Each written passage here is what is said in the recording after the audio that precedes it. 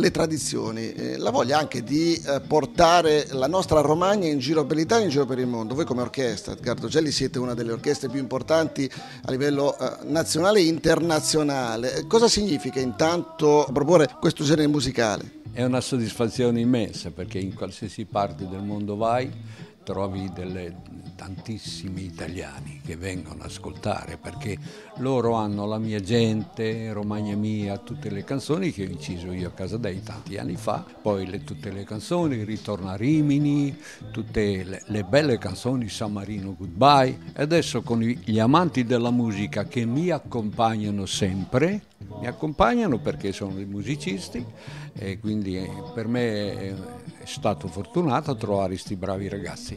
C'è ancora spazio per la musica romagnola, cioè, mh, è un paradosso, però guardando alle giovani eh, generazioni, no? la discoteca e quant'altro, la balera ha ancora un ruolo?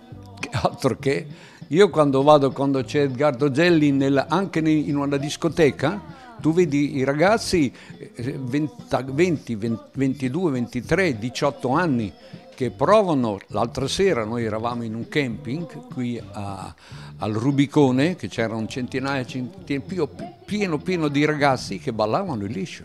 Una curiosità, oltre all'Italia qual è il paese nel quale voi come orchestra vi, vi, vi trovate più a, a vostro agio? Io mi trovo molto molto bene, mi sono trovato in Argentina, nel Connecticut, Massachusetts, sono tutti di bagnacavallo, a Furlè, di, qui nella nostra zona e poi fino a giù a Senigallia sono tutti italiani, è una cosa molto molto bella, veramente bella. Ti emoziona questo fatto che ti trovi davanti gente che ti dice tre generazioni che ti parlano anche in dialetto.